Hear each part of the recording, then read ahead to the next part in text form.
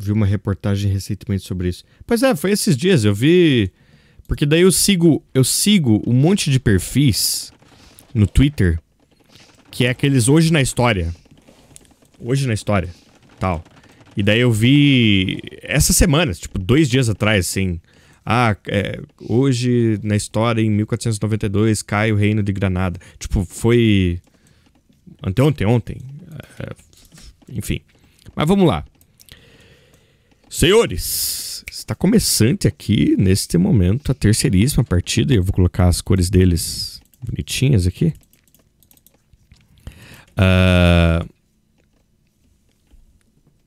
aqui, então, essa é a terceiríssima partida da. Está começando agora. Né? A terceiríssima partida da melhor de cinco entre Niadin e Bru pelo Goku's Invitational. Esse aqui que é o campeonato que reúne 16 dos melhores jogadores do Brasil. Os 16 melhores. Não é dos melhores. É os 16 melhores jogadores do Brasil. The Age of Empires 2 enfrentam-se aqui. Premiação de R$ 2.500. São vários reais. Né? São vários reais. R$ 2.500 são vários reais. Dá para fazer várias coisas. Dá para pagar várias contas. E dá até para comprar um Xbox Series S, dá para comprar uma placa de vídeo, né? Essas coisas aí. Até para viajar aí né, dentro do Brasil, você você viaja assim, vai para São Paulo. Enfim. É, bom, enfim, o mapa é a arena, mapa de escolha do Bru. Aqui do lado direito, então a gente tem ele, o Bru, jogando na cor azul tá jogando de birmaneses. Essa que é uma civilização que ganha o upgrade da madeira é, gratuitamente. Ganha o upgrade da madeira, fica culpada de graça. Bala demais. É uma civilização também que uh, joga muito com unidade única, né? Geralmente nesse mapa eu acredito que a gente veja isso. Ele vai puxar bastante aldeão aqui na. Bastante aldeão na pedra. Os birmaneses eles sabem a localização de todas as relíquias. Então essa é a visão deles, ó. Eles simplesmente sabem. Eles, eles simplesmente sabem. Eles sabem a localização de todas as relíquias. Uh, e a infantaria ganha mais um de dano por era. A infantaria fica simplesmente bruta. Do outro lado, a gente tem o Niadin jogando de Borgonha. Venha, olha, chamando. Chamando. Chamando na chincha, venha. Nunca fujo de uma briga de scout. Ixi. Chamou. Ganinha nunca foge de briga, aprendi. Eita, o Bru acompanhou? Não, Bru, que isso, cara? Nem deixou explorar o mapa? Ai, saiu com um de vida o scout, meu. O que foi isso, Bru? Explica para nós. Quer dizer, ele sabe onde estão as relíquias, mas poxa vida, precisava. Precisava. Alright. É... Borgonhês, né? Civilização de cavalaria. Uh, todos os upgrades econômicos dos borgonheses estão disponíveis uma era antes. É uma civilização que a pólvora tem 25% mais dano é uma civilização que o upgrade do Fidalgo, né, da cavalaria pesada, está disponível na idade dos castelos e o upgrade do Paladino é mais barato, 50%, e está disponível na idade. Está disponível na idade. Uh, né, tá disponível na idade imperial, mas é 50% mais barato. É isso que eu queria dizer. Tô me atrapalhando nas coisas, né? Os dados estão confusos na minha mente hoje. Caiu minha pilha, vocês viram? Deu um momento, fiz um momento de Momento Kleber Machado aqui.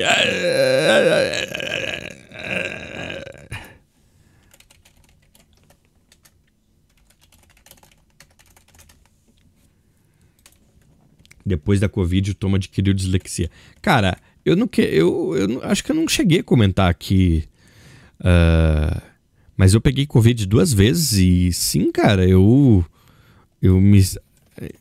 Eu me sinto mais para ler, é... hoje em dia eu tenho que ler, tipo, a...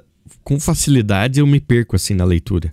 E tenho que ler duas, três vezes. Isso depois da Covid, cara.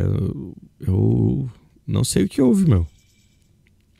Mas eu sei que não recuperou. Nunca mais li um livro assim do mesmo jeito, cara. Eu não sei se é uma coincidência ou só se eu fiquei meio burro também, né? É possível. Mas ele, eu tenho a impressão de que depois do Covid eu tenho certeza, sim. Eu comecei a ler pior.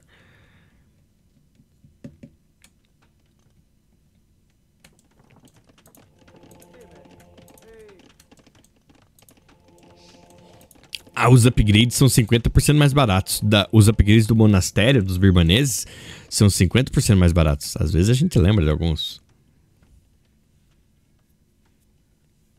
É a idade chegando? também, pode ser também. Se eu li o Silmarillion antes do Covid? Cara, não, eu li o Silmarillion, que inclusive está aqui. É... Ano passado. Foi quando eu li.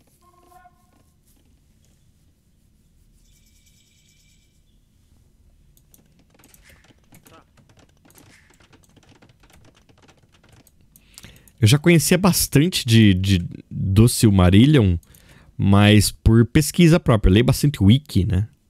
Bastante wiki, muita wiki, assim. Então já conhecia muitas coisas. Mas eu parei para ler mesmo só depois. Pô, é uma leitura muito boa, cara. Eu, eu gosto. Eu tenho um fascínio muito particular por esse tipo de história. Não a história. Às, às vezes dos personagens e dos heróis, mas da história do mundo. Né? A lore, né? Eu, às vezes, e muitas vezes sou muito mais interessado nisso do que na história que tá rolando ali. Então, pô, Silmarillion foi uma leitura muito tranquila para mim, porque eu realmente, pô, cara, muito massa. Puxando full padre, e inclusive fez santidade. Então os padres ganham 15% ali mais de vida, fez o fervor também, o Bru. Os padres andam mais rápido e tá mandando, olha, duplinhas e trios.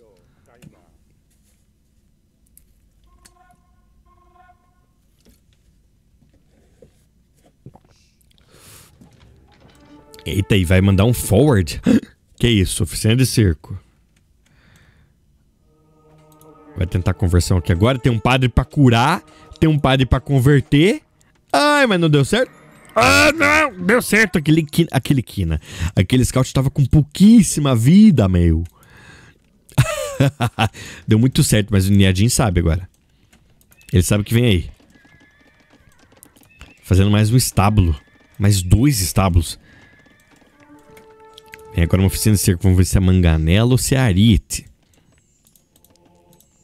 Já coletou uma relíquia. Tem uma lá, inclusive. Arite. Vai entrar. Tá vendo? Essa sua base aí, rapaz. Eu vou é quebrar a porta. Agora vai puxando o arietezinho. Já tá se tentando fazer uma resposta para isso. Vai puxar o quarto estábulo e fazendo tear também, o lum. Dá mais vida pros aldeões. Vem villager pra cima. Vem villager pra cima.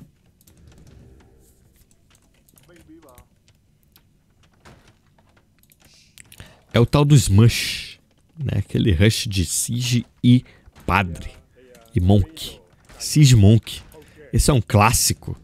Vai forçar tudo agora nesse arena. Tá quebrando as muralhas.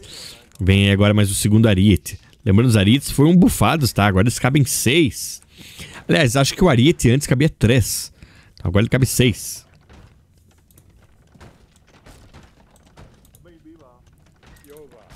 Tá tirando bastante cavalaria, bastante cavalaria leve.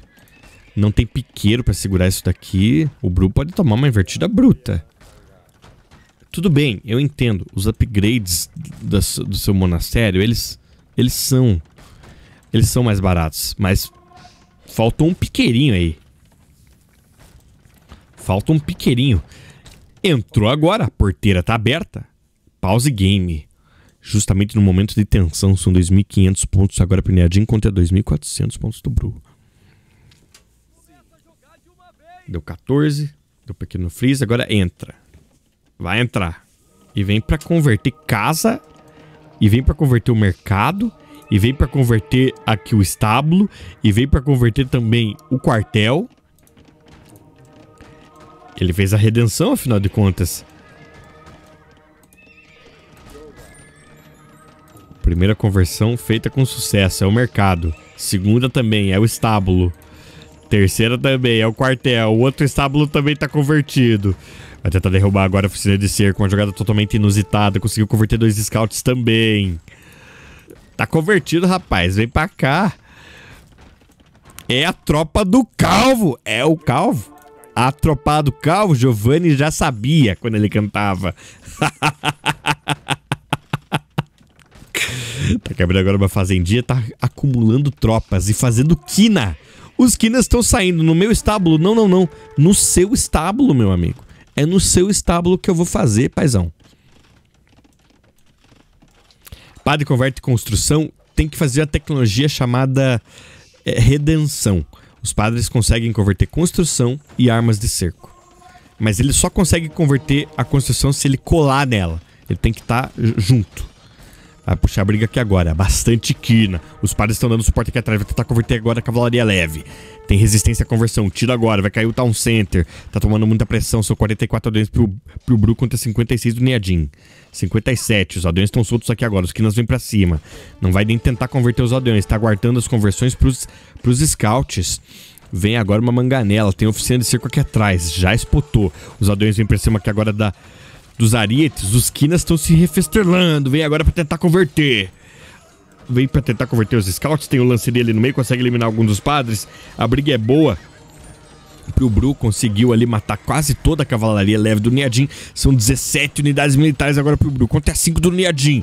Muito aldeão tentando reparar agora o Town Center. Consegue derrubar mais um Ariete. Falta só um. Falta só um. Vai conseguir defender, será? Ficou vivo um único padre. E vem a Manganela agora em direção aqui para tentar defender esse Town Center. Vai colar agora a Light Kev em cima desse, desse padrezinho. Tá morto. Tá morto, caiu. Mas perdeu muito aldeão nessa brincadeira. Tava com mais de 50 unidades, tá com 48 agora. Contra 47 do Bru. Uma diferença pequeníssima, diferença de apenas um, inclusive. Manda Light Kev agora pra cima da manganela, vai tentar eliminar, consegue acertar a pedrada agora nos quinas. Ai, ai, ai. Vai recuando, deu uma esfriada. Deu uma esfriada. Deu uma esfriada o ataque do Bru, tá com 3 mil pontos contra 3.200 do Niadin. Niadin ainda lidera. Vai fazer aqui agora um moinho aqui no meio para tentar recuperar essas fazendas. Tá tentando raidar agora com algumas cavalarias. Tem mais padres saindo. Vai insistir no rush. Tem mais ariete saindo. Ele quer o repeteco. Ele quer a parte 2. E... Ai, ai, ai, Niadinho. Que isso? Tá mandando os scouts para dar uma volta lá? Ele vai dar essa volta aqui para tentar sniper os padres. Mas tá passando longe. Onde é que ele pensa aí? Ai, ai, ai, ele vai pegar os padres que estão vindo. Tá explicado. Já tá vendo lá o Bru. Já tem visão. Mas agora vai avançar aqui na frente. Ele converteu a manganela? Converteu a manganela. Tá com pouca vida, inclusive. Vai tentar converter o Let Kev. Deletou o Let Kev ali. O Nedinho simplesmente tirou aqui na esperança de pegar o, o reforço de padres. Vai conseguir pegar aqui com certeza, mas a base dele tá super ameaçada. E agora o Bru, inclusive, passou em número de aldeões. O Bru tá com 50 aldeões contra 47 do Neadin. Tá forçando muito, os Arietes vêm de volta. Agora é a segunda onda de ataque. A segunda onda de ataque vem firme, não tem muito aldeão pra defender. E tem Manganela agora, uma Manganela convertida. Tem um Kina ali agora, vai tentar converter. O Kina não tem tanta resistência, converte de primeira! Converte de primeiro, Kina! Vem pra cima dos aldeões tentando reparar. Tem muito aldeão parado aqui dentro. Tem 15 aldeões dentro desse Town Center. Light Kev aqui agora vai conseguir eliminar um dos padres? Pelo menos um. Mais um será? Volta com toda aquela Light Kev agora. Cai mais um Town Center. Pedrada no meio dos aldeões.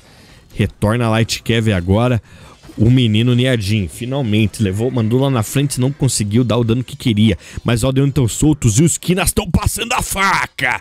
Os Kinas estão passando a faca, muita coisa morrendo, são apenas 37 aldeões. Agora pro Niadin o castelo vem na cara. Os aldeões estão saindo lá do outro lado. É muito aldeão. São 52 aldeões pro Bru contra 34 do Niadin. É muita coisa. E diminuindo o número, inclusive.